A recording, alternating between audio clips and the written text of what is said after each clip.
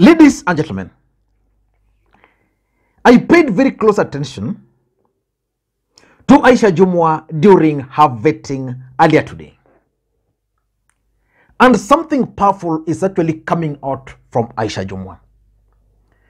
The Aisha Jumwa we saw today is totally different from the Aisha Jumwa we've always known. Just through this clip, this is Aisha Jumwa before and Aisha Jumwa today.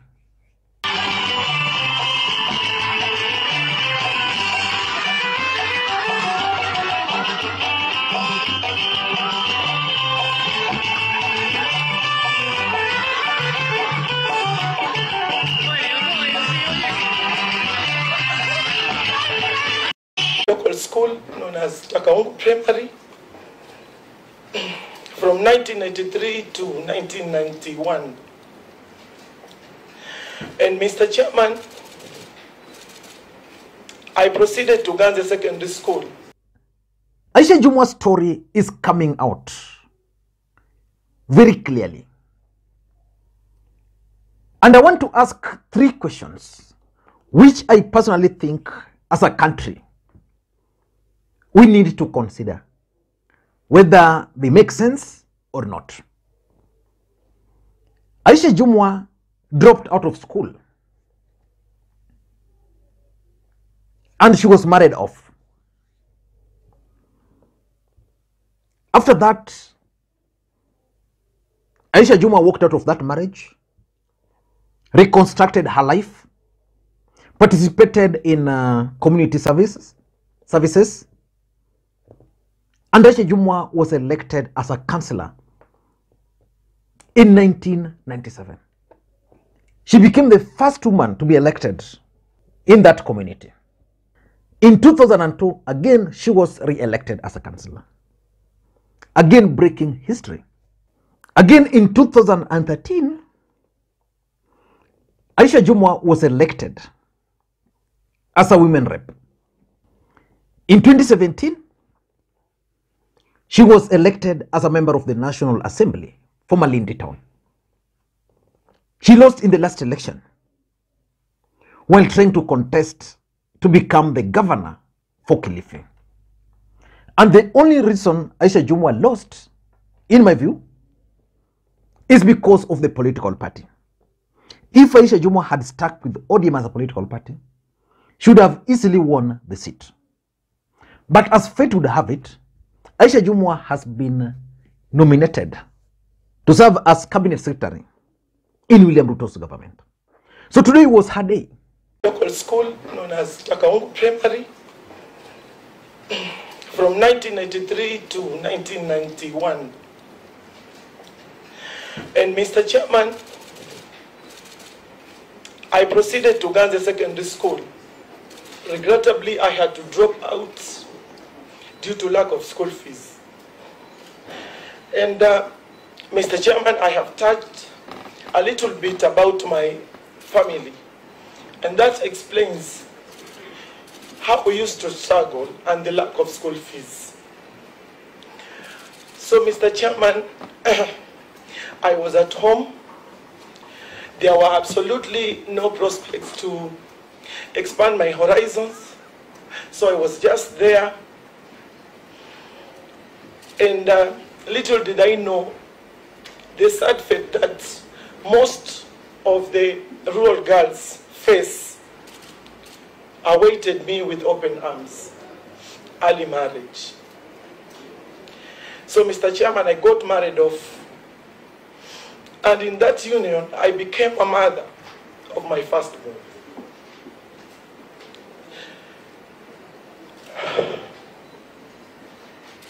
Mr. Chairman, I must say that this is one of the practices that must be curbed because it's very harmful and painful to the girl child, especially those underage.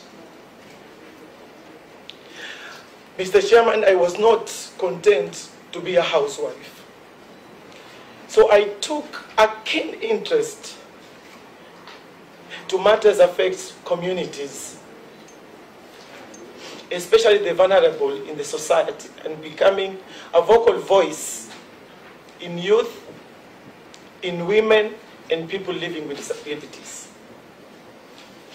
So I decided to join active politics to be able to, to make transformation in society through policy making. And in 1997, I contested and I was elected the first woman in my community. So I served for five years and got re-elected due to my stellar records of development Elected to what? to MC to a councillor. And uh, during my second term, I was elected as the chairperson of Kilifi Town Council. Again, the first woman to head that uh, position, to be in that position. And out of all those interviews, for me, the interview of Aisha Jumwa represents number one, the spirit of a true Kenyan. If William Ruto and his Kenya government were looking for a real hustler, Aisha Jumwa is one such a person. The other thing which is coming out is determination and resilience. Without determination, Aisha Jumwa would not have sat before that committee today. But there are three questions which I want us to ask. The first question is the question of qualification. For one to be qualified as a cabinet secretary, that individual does not require a degree. Degree is not a requirement. But for one to qualify as a chief administrative secretary, basically an assistant, degree is a requirement. But that's not what I'm asking. I want to ask whether degree is a, should actually be included as a requirement for leadership in this country. I don't know what you think, but is it really necessary? Because Aisha Jumwa, according to her own story, went back to school, which is determination. She got a D minus. And according to her own account, that D minus was the best she could get. Then after that, she went to university. And questions are actually being asked whether she got the, the degree because it's like she got masters without undergraduate which begs the question is it the demand which is making these guys to go back to college and probably even fake certificates? Remember the case of johnson sakaja a very brilliant man for that matter. But sakaja had to go to uganda to forge a degree. Today he's leading the capital city of kenya in real sense without a degree which is a requirement. So which means he went used backdoor and acquired that certificate just for him to be qualified. So the question is, do we really need a degree for leadership? That's the first question. The second question which comes to mind is the question of integrity. Aisha Jumwa has two cases which are known. The case where during the Ganda by election, of which I was uh, a participant in, Aisha Jumwa and the team invaded an ODM meeting. By the time they left, someone was dead. And Aisha Jumwa has been facing charges in court. And I'm sure, based on the way things are moving, the family is in talks with Aisha Jumwa. The case is likely to be withdrawn. And then also there is that case of uh, CDF, which is likely to be withdrawn. So as long as those cases will be withdrawn, Aisha Jumwa will be as white as snow. But the question is, is there need for parliament to, to consume hours after hours to vet people based on integrity when relevant bodies can actually just use uh, orthodox means? Or is it just fair for Kenyans to look for alternative means of resolving disputes? So that if Aisha Jumwa and the family can reach out of court agreement, then be it. Because what is now coming is a bad precedent where you have a case, you are facing vetting, you talk to family, or you talk to relevant bodies, and your cases are withdrawn.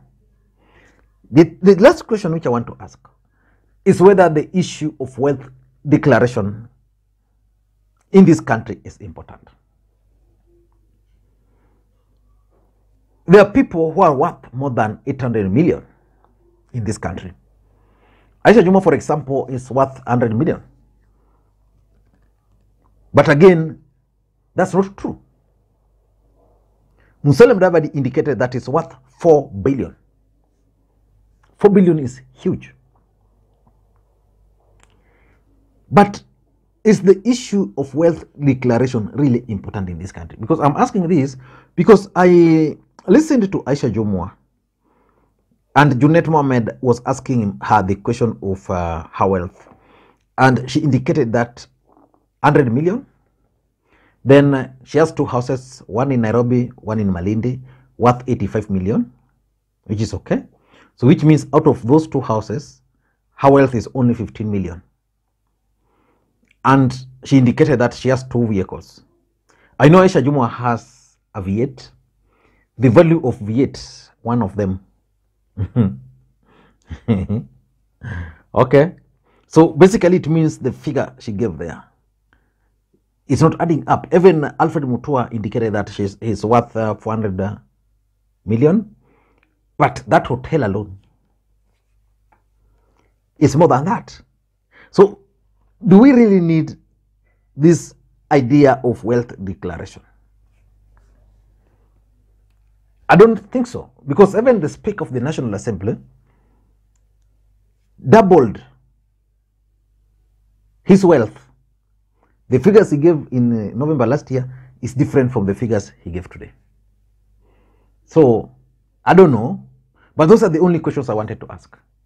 But I wish Aisha Jumwa well, but I think she needs really to publicly apologize to that family, own up that she caused that death without her invading that particular meeting, the family would not be crying today. Until next time, Lee Makwiny.